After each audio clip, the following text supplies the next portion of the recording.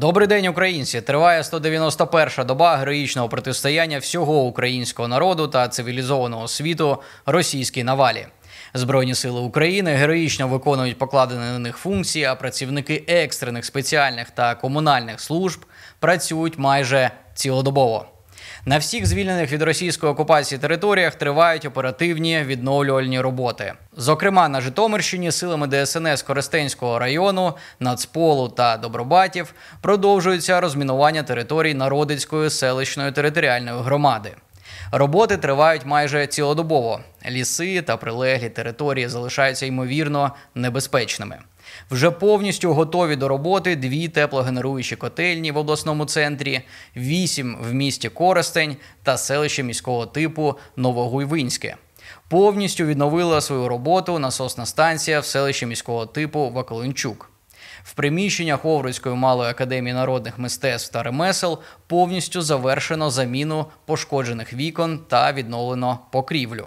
Загалом, станом на сьогодні, в області вже повністю відновили понад 719 пошкоджених війною об'єктів. Мова йде про 554 об'єкти приватної забудови, 48 багатоповерхівок, 34 дитячі садочки та школи, 20 об'єктів ЖКГ, 14 адміністративних будівель, 11 закладів охорони здоров'я, 9 закладів культури та дозвілля, 3 заклади вищої освіти.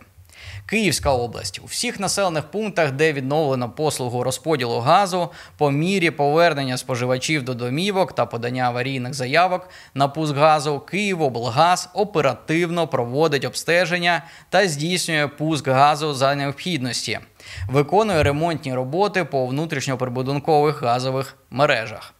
Київоблгаз прийшов до роботи в штатному режимі. Посилена кількість аварійних бригад залишається працювати в Бучанській, Ірпінській та Гостомільській громадах.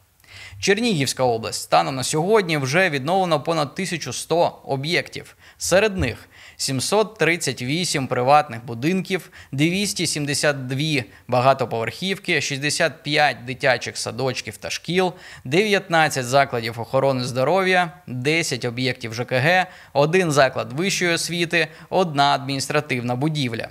Продовжується ремонт відновлення та скління приміщень садочків в Ніжині, Дмитрівці та Чернігові.